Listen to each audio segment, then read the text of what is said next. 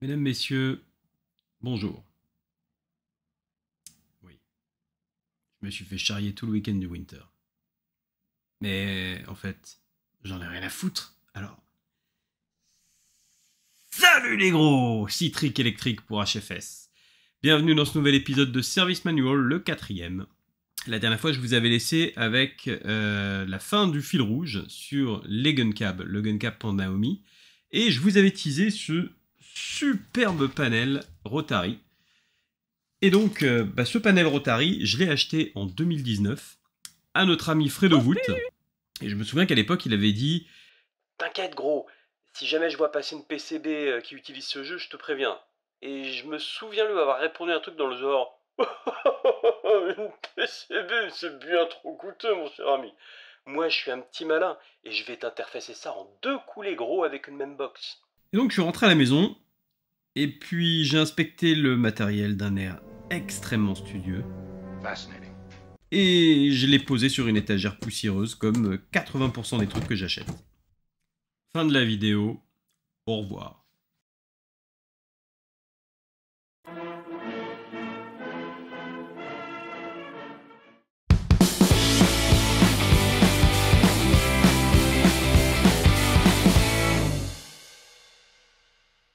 Mais alors, pourquoi cette vidéo, Citric Parce qu'après 5 ans, je me suis enfin sorti les doigts du... Le but de ce nouveau fil rouge, c'est de vous montrer comment je n'y suis pas arrivé et comment j'ai finalement réussi. Mais d'abord, générique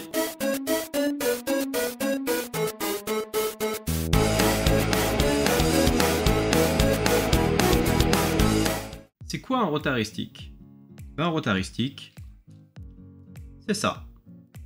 On les reconnaît tout de suite parce qu'ils n'ont pas un ball top ou un bat top à leur sommet. Ils ont ce manche très caractéristique en forme d'octogone, un octotop. Et oui, je viens de l'inventer. Mais en même temps, ça n'a pas de nom et c'est comme ça qu'on les reconnaît. Alors, si c'était la seule différence, ça serait particulièrement con, parce que si ça, cet octotop, il était si confortable, on les retrouverait sur les sticks classiques. Mais c'est pas le cas. La différence avec un rotaristique, c'est que le rotaristique, il tourne sur lui-même. Là où un stick classique, lui, il tourne dans le vide. Et donc le rotaristique, quand il tourne, il transmet sa position au jeu. Et donc là, vous comprenez pourquoi on a un octotop c'est que pour le joueur, elle grippe pour faire la rotation pendant qu'il joue. Et là, pour le coup, il est beaucoup plus pratique. Comment ça marche? Bah, En fait, on a deux modes de fonctionnement sur les rotaristiques. L'un utilise l'interrupteur rotatif. Donc ça, c'est mécanique. L'autre, c'est un système optique.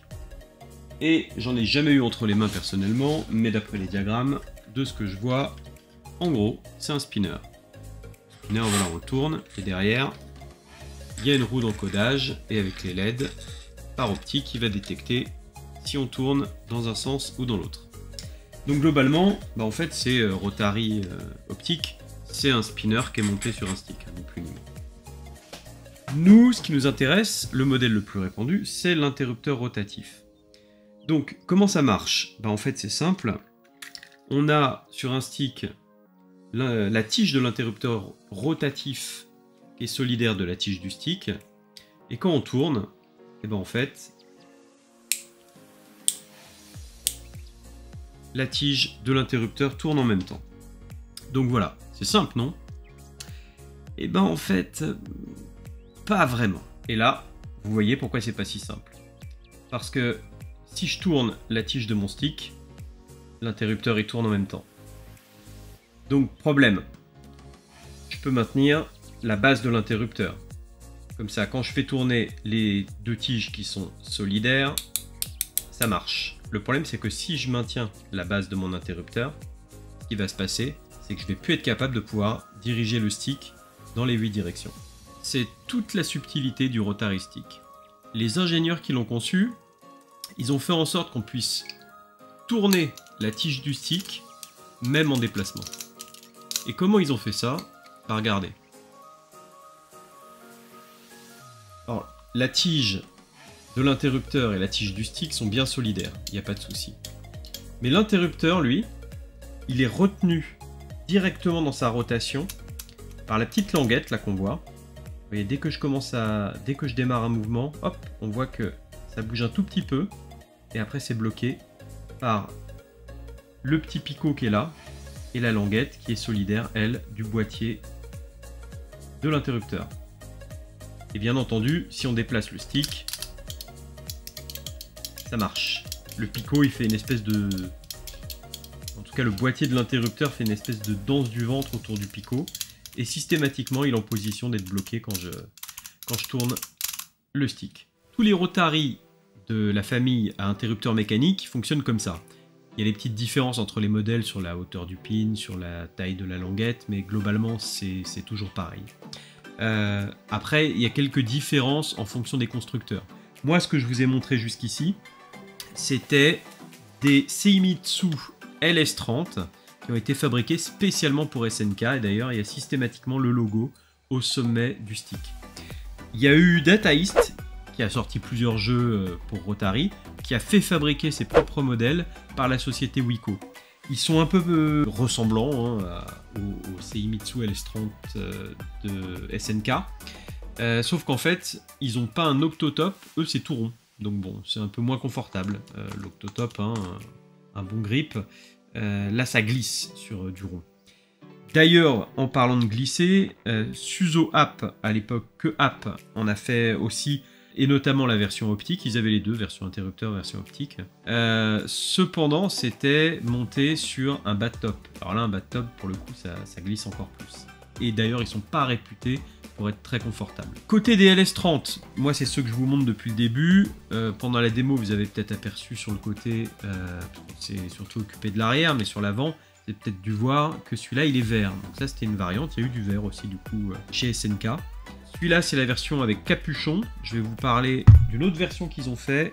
Et en fait, voilà, ils ont fait une version où tout le stick ici, il n'y a pas de capuchon. C'est euh, unibody, on va dire.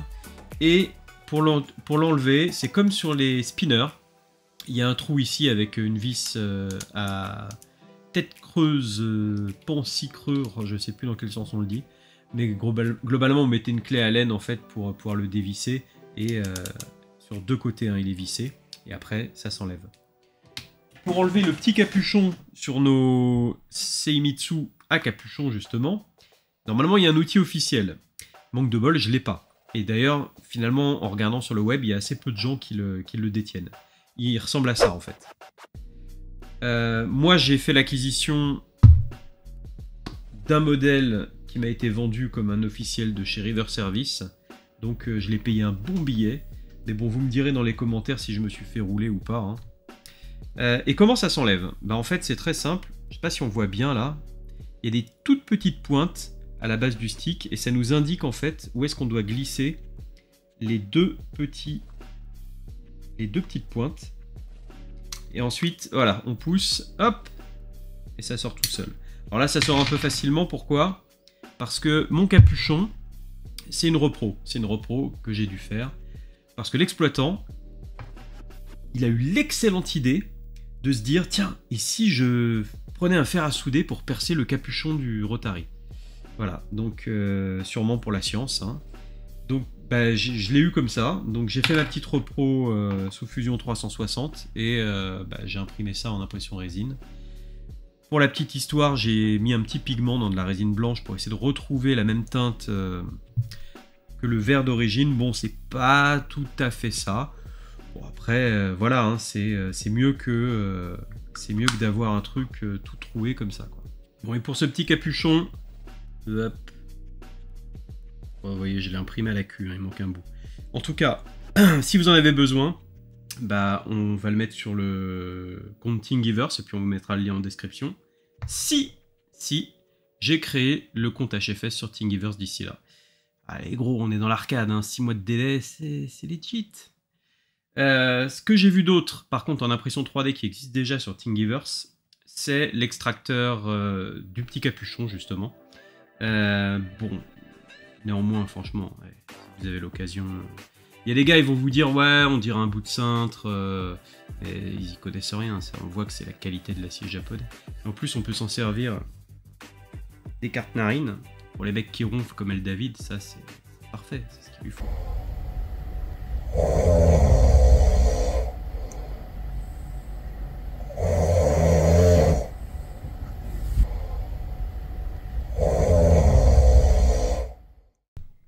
Alors vous voyez, sous le capuchon, il y a le petit écrou qu'on va dévisser pour pouvoir virer l'octotope et puis sortir le stick du panel. Ce qu'on voit maintenant, c'est surtout l'interrupteur 12 positions sur lequel en fait on va s'attarder un petit peu. Donc dessus en fait, en termes de connexion, on a une en base JST NH de 13 pins. Pourquoi 13 pins Parce que de part et d'autre sur les côtés, j'ai un pin par position, donc 12. Et au milieu, j'ai le common. C'est-à-dire que euh, en fonction de la position où je vais être, c'est celui qui va être fermé avec l'un des autres pins. On va faire un petit test, je vais vous montrer. Donc je vais prendre celui-là, je vais le mettre au milieu, voilà. J'ai mon multimètre, hein, tout ça est branché euh, à mon multimètre en continuité. Ça va sonner si jamais euh, on sélectionne la bonne position par rapport où va être branché le second. Et le second, il est là. Voilà. Donc je vais le brancher par exemple ici. Et puis on va tourner et on va voir à quelle position ça correspond. C'est là. Si je quitte la position, terminé, il n'y a plus de continuité. Si je reviens, voilà. Donc après, hein, je peux m'amuser. J'ai changé de position, je peux changer de pin. Ici ou ici. Voilà. Je quitte la position, je reviens sur celle d'avant. Voilà comment ça marche. Donc là, je vous l'ai dit, c'est un interrupteur 12 positions ici mais euh, il y a eu des versions avec euh, un nombre de positions différent pour l'interrupteur rotatif. C'est pas grave, c'est pas grave en fait parce que euh, pour les jeux qui nous intéressent, ce que le jeu veut, c'est pas la position absolue, c'est la position relative. Je m'explique. 12 positions, imaginez que c'est comme une horloge, voilà, 12 numéros. Le jeu, il s'en fout de savoir s'il est 7 heures ou 4 heures. Lui, ce qui l'intéresse de savoir, c'est quand il lit une heure, est-ce que la position qu'il avait enregistrée avant, c'est une heure avant ou une heure après? Et ça, on le voit dans MAME, parce que dans MAME, l'émulation, elle se résume à est-ce que j'avance en sens horaire ou est-ce que j'avance en sens anti-horaire? C'est les touches M et N sur le clavier ES, ils sont l'un à côté de l'autre. Donc, euh, bah, on va avoir un fonctionnement complètement identique. On est un interrupteur 6 positions ou 18 positions, ça va pas nous gêner. Et donc le matériel sera compatible avec ce qu'on veut faire. Autre caractéristique très importante qu'on doit prendre en compte sur l'interrupteur. Est-ce qu'il est à commutation ouverte ou fermée? Qu'est-ce que ça veut dire? Physiquement, sur un interrupteur rotatif, je vais jamais pouvoir passer d'un état où quand je quitte un pôle en tournant la tige, mon contact touche plus ce pôle, mais paf, instantanément il touche le suivant. C'est physiquement impossible. Alors on a deux cas de figure. Soit on accepte d'avoir deux pôles reliés au commun le temps de la rotation, c'est ça qu'on appelle la commutation fermée, soit on est obligé de passer par un état où quand on tourne la tige, il n'y a plus aucun pôle qui est relié au commun pendant la rotation. Ça c'est la commutation ouverte. Pourquoi c'est important à savoir? Parce que quand nous, on va coder notre interface, il faut qu'on prévoie ces cas de figure. Parce que soit on va se retrouver avec deux circuits activés en même temps, soit aucun.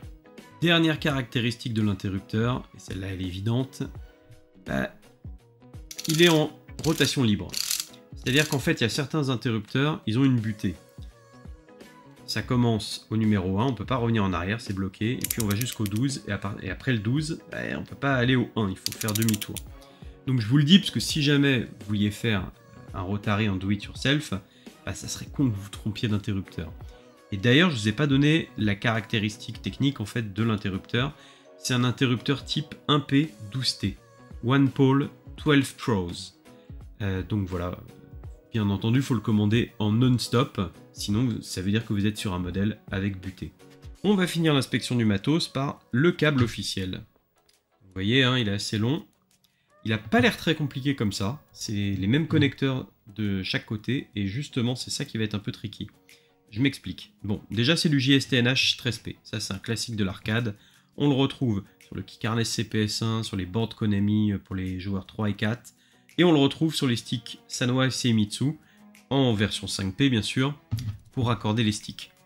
Euh, et, donc, et donc, ce connecteur, il est très simple à sertir, déjà, ça c'est un bon point, il est très solide. Comme on l'a dit, c'est un classique de l'arcade. Et en plus, il a une petite particularité, c'est que le numéro des pins est inscrit sur le boîtier et est humainement lisible. Il l'est pas, par exemple, sur le XH ou la MPUP. C'est présent, mais franchement, il faut un œil bionique pour le lire. Donc, là où le bas blesse, c'est que si on regarde le pin-out de ce charmant câble, c'est là que les ennuis commencent. Donc, je vous le mets un peu plus près, vous allez comprendre. Vous voyez, on a l'impression que les câbles ils sont au miroir. Donc déjà, euh, ça part du début. Enfin, voilà, les numéros de pins sont à peu près inversés, l'ordre est inversé d'un côté et de l'autre. Mais regardez le câble violet. Le câble violet, c'est le common. Et on voit quoi? On voit que sur l'un, il arrive sur le pin 1. Et là, il arrive en plein milieu, vraiment sur le pin numéro 7 de l'autre extrémité du connecteur. Ça veut dire quoi? Ben, Ça veut dire qu'en fait, les câbles, le câble, a un sens. Le côté où on a notre common au milieu, ben là, ça va sur le rotary. Et l'autre, il est censé aller sur la PCB. Donc là, bien entendu, quand on va brancher tout ça, il bah, va falloir qu'on se trompe pas. Ok, on a fait le tour du matos. Comment on va interfacer tout ça maintenant? Eh bah, ce sera le sujet du prochain épisode, puisqu'on arrive à la fin. On va parler carte de dev. Donc les gars, accrochez bien votre slip, parce que ça va être un peu plus poilu. Mais rassurez-vous, ça va être très simple. Le but, c'est de voir un petit peu ce qu'on va pouvoir faire avec des cartes type Arduino, comme le Tinsy, comme le Raspberry Pipico, mais on va rester sur des trucs vraiment simplissimes. Le but c'est pas de vous effrayer, c'est vraiment de vous montrer ce qu'on peut faire avec euh, ce type de matos et des contrôleurs d'arcade. De toute façon, je suis pas développeur, donc vous attendez pas à ce que je vous sorte des trucs démentiels. On va rester simple. Donc d'ici là, en attendant, prenez soin de vous. N'hésitez pas à liker la vidéo, à la partager. N'hésitez pas non plus à venir sur notre Discord bah, pour nous parler de vos projets ou pour demander de l'aide. Vous êtes les bienvenus, on est là pour ça et je vous dis à la semaine prochaine. Ciao les gros